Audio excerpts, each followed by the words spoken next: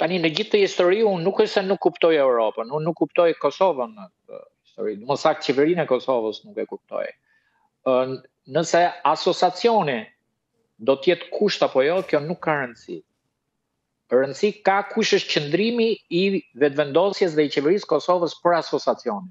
Do ta bëjë apo nuk do ta bëjë? Apo mban dy standarde, Europës i premton që do e bëjë, popullit të Kosovës i thotë nuk do e bëjë dhe mashtron. Pra, nëse është për t'u bërë, ç'rëndësi ka nëse është kusht apo jo? Ajo do të bëhet. Nëse nuk do ta bëjë, atëherë është një problem, sepse kërkon që të mashtrojë Këshillin e Europës dhe aleatët, duke u thënë do e bëj, por na votoni një herë të jemi anëtar, pastaj nuk e bëjmë.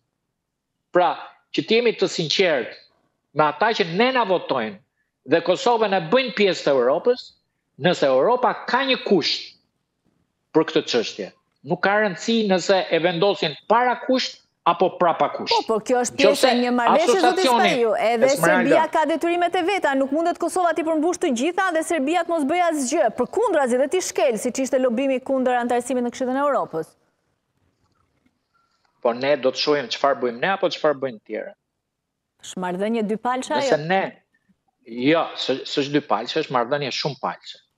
Sepse për për Kosovën dhe Albin Kurtin nuk është e rëndësishme marrëdhënia me Serbinë dhe çfarë bën Serbia. Për Albin Kurtin dhe Kosovën është e rëndësishme të fitojë besimin te aleatët europianë, të cilët janë avokatë dhe themelues të shtetit të Kosovës.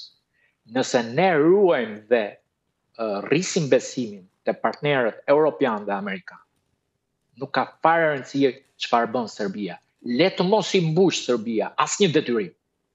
Kjo shkon gratis për Kosovën. Kjo është avantazh për Kosovën. Pse? Sepse ne do fitojmë besimin më të madh tek Brukseli, te Strasburgu dhe te Washingtoni dhe Serbia do t'i humbasë ata. Ë? A shikoni se çfarë sulmesh po i bën Europës Beogradi sot? Nuk kanë lënë gjë pa deklaruar kundër Europës. Nuk kanë lënë sharje fyerje Beogradi pa bërë. Pse? Dhe kjo ne na intereson. Ne nuk e përmbushim asociacionin si kërkesë të Serbisë. Asociacioni duhet të përmbushet si kërkesë e projektit franko-gjerman, dy avokatëve kryesorë që kanë luajtur një protagonizëm të fortë në anëtarësimin e Kosovës në Këshillin e Europës. Pra, unë i përmbahem kësaj që uh, Kosova nuk ka luksin që të kushtëzojë me reciprocitet projektet europiane. Kosova duhet të përmbushë detyrimet e veta dhe të jetë e sinqertë me Europën. Nuk shkon kjo histori që mos na e vini parakusht se do e bëjmë, marrim anëtarësimin ne dhe pastaj nuk bëjmë detyrimet që na vendos Europa, se Europa ka mekanizma për të të bllokuar diku tjetër.